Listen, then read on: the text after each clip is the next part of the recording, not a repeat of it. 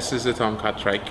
Make sure to apply the parking brake at the back of the trike by pulling on this lever and pulling the catch back to lock the front wheel in position. To adjust the seat height, use a 5mm Allen key and release the bolt, sliding the seat up or down into a comfortable position. To remove your laterals for ease of access, undo the thumb screw at the back and slide the lateral out. Attach the carriage control, line the wider part of the front hole up with the front bolt,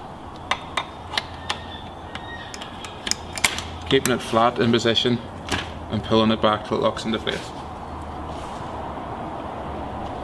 We'll say about the brake and the carriage control. Yeah.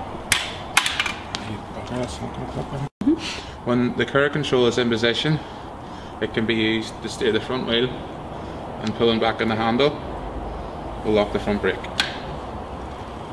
To remove the car control, push down with your thumb on the back plate and slide forward. If you need to stop the pedals of the trike moving while it's in motion, pull this pin and turn it to the side. This will knock it out of gear and stop the rear cog moving with the pedals.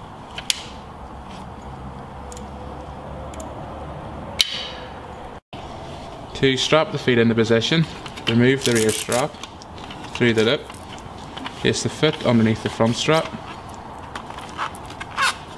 bring the back strap round the back of the heel, through the lip, and use the velcro section to lock it off.